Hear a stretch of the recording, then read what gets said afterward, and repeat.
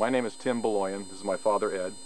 And uh, we grow and sell vegetables in Fresno, California. My dad came here in 1917 and started farming. He farmed in New York, and then he came out here. I love it all. I love to watch stuff grow. I, it's, it's doing, it's like a life, you know? And uh, I enjoy it. Look at the quality of the plant. Well, we're perfectionists. This, this land is, is, is, it's a productive work of art. It's a thing of beauty, and it's also a thing of, of, of nutritional value. It's great produce for us to eat. To me, when you pick up that soil, that's life. It produces. And that's what we're here for to do. We do. We produce. And people have something to eat. We're proud of what we do. What greater thing could we do than, than grow and provide uh, food to people? This is my life.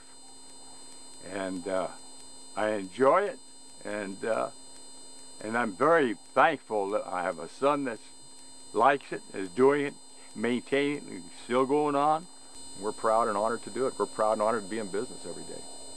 I'd love to pass it on to my daughters and my nephews and possibly my grandchildren too.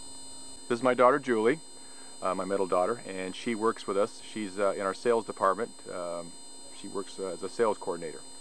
I'm very proud to have her here, very thankful to have her here working with us to carry on the family tradition.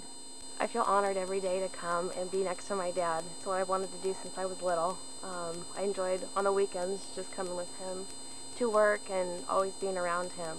If I did have a family someday, I think it would be awesome to have them be a part of this and it's such a healthy way, uh, such a healthy lifestyle and um, always being around um, the family and the influence of my father and my grandfather and, and just to, to be around that love and feel very blessed.